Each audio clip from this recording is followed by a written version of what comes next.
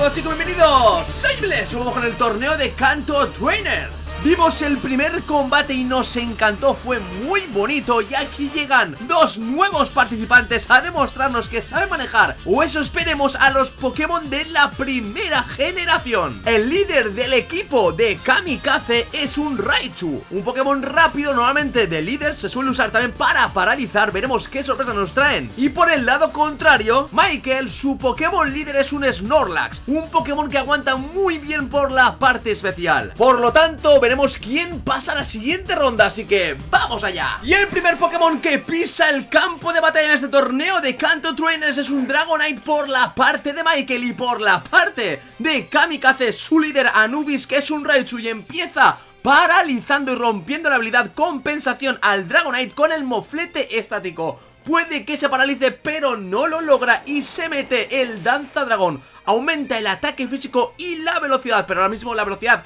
la tiene partida porque lo acaban de paralizar. Se adelanta con velocidad extrema Bosteado más ataque físico aún mucho cuidado. Raichu aguanta ¿Cómo puede? Quería encerrarlo en el Danza Dragón con él otra vez Pero ahora lo acaba de encerrar en el velocidad extrema. Así que Kamikaze retira a su Pokémon líder Raichu y da paso al siguiente de mote Flatulencio que es un Withing Por cierto, Shiny El Dragonite vuelve a repetir lo mismo por culpa de él otra vez con velocidad extrema Tantea la defensa física de Withing que lo aguanta muy pero que muy bien Y Michael decide guardar a su Dragonite y sacar al siguiente un Ninetales Que encima nada más salir al campo de batalla probablemente ahí está plante la sequía, aumenta los ataques de tipo fuego un 50% y reduce los de tipo agua. Flatulencio había hecho niebla clara para quitar el bosteo al Dragonite que acaba de retirar Michael y cosa que Ninetales aguanta muy pero que muy bien. Retira de nuevo a este Pokémon. Un tanteo por parte de ambos entrenadores de momento. Y Kamikaze decide sacar a Macho Men el mote de su Nidoking, pero Ninetales de Michael. Había aprovechado perfectamente el cambio de Within. Para meterse en maquinación, aumenta mucho el ataque especial. Y encima Gracias a que está el sol, el rayo solar lo va a hacer en tan solo un turno. Veremos si Nidoking lo aguanta dicho golpe tipo planta. Veremos, lo aguanta, sí ¿Por qué? Porque el señor Nidoking es tierra, cierto, pero también es veneno, neutraliza la planta y se come el tierra viva Ninetales y el primer Pokémon de Michael en este torneo de Kanto Trainers cae debilitado y sale el siguiente de mote Requena y es un Charizard Shiny y sabemos 100% que es Charizard porque no están permitidas las mega evoluciones, así que Charizard solamente retira su Nidoking y sale de mote Seymour SCT que es un Clefable y se va a comer el llamarada que no acaba de fallar Potenciado con el sol, veremos Clefable justo por la mitad de PS Utiliza un protección para tantear a Charizard y quizá para ver si se vaya de una vez el sol Charizard ha cambiado a rayo solar y también lo hace en tan solo un turno porque aún está la sequía de Netels Pero se ha protegido Clefable y se va el sol por fin consigue que se vaya ese clima. Retira a Michael a su Charizard y da paso de nuevo al Dragonite que está paralizado, pero aún le queda toda la vida. Le puede hacer algo de daño a ese Clefable, o eso creemos, porque acaba de sacar un Pokémon Dragón contra un Pokémon Hada. Clefable en el cambio mete Deseo y va a curarse el solito. Deseo, protección, es Wizard, así que se va a curar toda la vida prácticamente. Y va a utilizar velocidad extrema, tanteando la defensa física de Clefable. Y el Deseo entra a jugar, se hace realidad y se cura toda la vida prácticamente. Y ataca con fuerza lunar, ataque tipo Hada. No tiene compensación por ese toquecito de Raichu, le ha quitado un montonazo de vida y se paraliza en el turno que quizá lo hubiese hecho algo de daño a Clefable y lo hace Dragonite otra vez con velocidad extrema. Menos cuánta vida le quita, no está mal el golpe y del segundo Fuerza lunar Kamikaze pilla un poco más la delantera porque remata al segundo Pokémon de Michael Pero el combate aún no ha acabado, pueden pasar mil y una cosa. Vuelve a salir Charizard Este Pokémon tipo fuego para intentar golpear al Clefable ya un poco tocado. Ataca con llamarada, no falla el movimiento Golpe muy potente, tipo fuego menos potente porque ya no está el sol. Lo deja con 61 de vida, pero vuelve a hacer lo mismo que Clefable Deseo y ahora va a caer el protección segurísimo para autocurarse. Ahí está. Protección, 61 de vida, más el 50% del deseo, esquiva encima el golpe siguiente de Charizard, que va a ser el llamarada, se protege y vuelve a hacerse realidad el deseo, dejándolo con 162 de a ese Clefable de Kamikaze. Llamarada, van 3 o 4 llamaradas que no fallan ni uno Charizard, no salta el crítico, lo deja por la mitad de vida y encima Clefable tenía tóxico quiere que poco a poco se vaya desgastando la vida de ese Charizard mientras que ella con su Clefable se va curando poco a poco los PS con deseo y protección, tan solo tiene que hacer eso. Se ha dado cuenta Michael, retira su Charizard y da paso al siguiente y es un Snorlax, el líder de su equipo, un Pokémon que aguanta una bestialidad como he dicho al principio, por la parte especial, falla la protección porque ha sido en el cambio, retira manualmente Kamikaze a su Clefable y da paso a Within, sabe que este Pokémon puede controlar a Snorlax tranquilamente, maldición, se el ataque y la defensa más, pero sin embargo baja un poco la velocidad, aunque le da lo mismo a este Snorlax porque ya de por sí es un Pokémon bastante lento. Y Wizzing aprovecha perfectamente para meterle el fuego fatuo, merma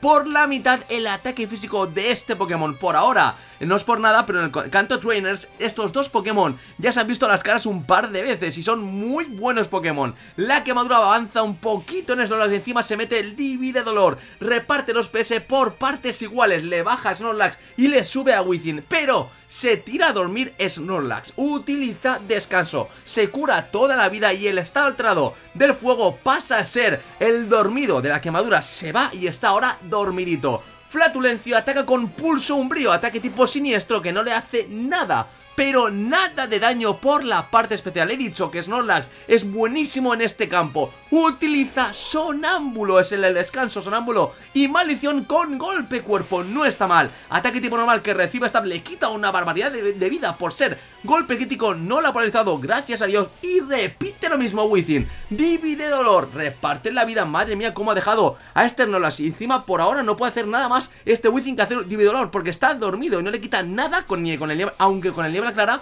podría quitar el bosteo de maldición. No lo había pensado quizás este Within. Golpe, cuerpo, otra vez de Norla gracias al sonámbulo. Y puede paralizarlo y lo consigue. Ahora está paralizado Within, se va a mover antes Snorlax.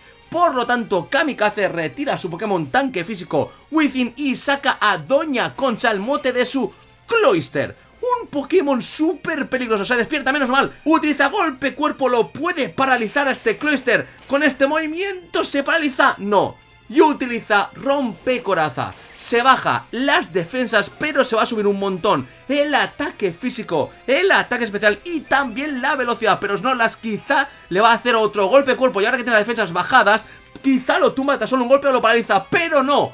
Utilizó Michael descanso se cura toda la vida, bien hecho, pero ahora tienes a un cluster bosteado delante tuya y tiene una barbaridad de ataque físico gracias al ser rompecoraza. Utiliza Kanamano, aunque no las gracias a habilidad Sebo, lo puede aguantar, golpea una vez sobrado. El Nola lo va a aguantar sobradísimo. Este ha sido golpe crítico, sino también le quita muy poca vida. Otra vez el tercer carámbano, el cuarto carámbano y el quinto viene ahí. Mitad casi de vida Snorlax y lo aguanta sobradamente. Snorlax sigue dormido como un tronco, pero va a utilizar el sonámbulo buscando quizá golpear mientras que sigue dormidito. Sonámbulo, ahí está. Y ataca con no descanso. Falla porque ya está dormido. Y le regala otro turno a Cloyster. Veremos si no salta ningún crítico. Golpeo primero con el carámbano, el segundo. Ahí va el tercero, siempre va a golpear cinco veces. Ahí está el cuarto y por último el quinto. Snola se queda con vida roja. Vida de color rojo, sigue dormido como un tronco, pero utilizar el sonámbulo otra vez. Quiere que salte el golpe cuerpo, sonámbulo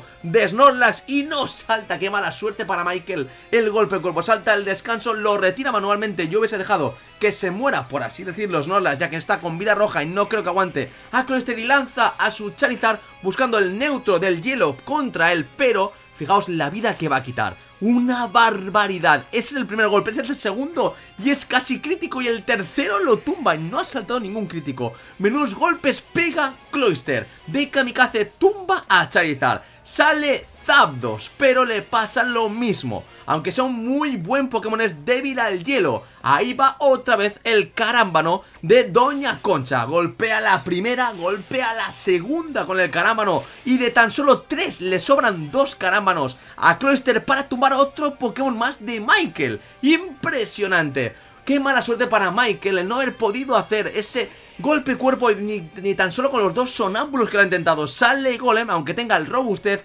el carámbano se lo va a partir de tan solo un golpe. ¡Carámbano! Fijaos la vida, madre de Dios. Segundo ese golpe crítico, ahí está. Y del tercero, otra vez de tan solo tres carámbanos, tumba tres Pokémon de Michael. Y tan solo le queda su último Pokémon, ya muy pero que muy tocado, y es el señor Snorlax dormido con vida roja y aunque tenga el sebo de habilidad no creo que aguante los 5 carámbanos que van a ir de Cloyster. Golpean la primera y del segundo carámbano Cloyster, Mote, Doña Concha de Kamikaze consigue tranquilamente la victoria y pasa a la siguiente ronda. Así que chicos, este ha sido el segundo combate del torneo de Kanto Trainers entre Kamikaze y Michael. Me ha gustado un montón y Michael quizá yo con Snorlax no hubiese hecho descanso en el turno que ha hecho Cloyster, le rompe coraza y hubiese atacado con golpe cuerpo buscando la parálisis y quizá rematarla porque se ha bajado un montón la defensa física por culpa del rompecoraza. Pero bueno, Michael habrá aprendido de los Cloyster, me ha gustado muchísimo el combate, han jugado muy bien los dos, pero tiene que pasar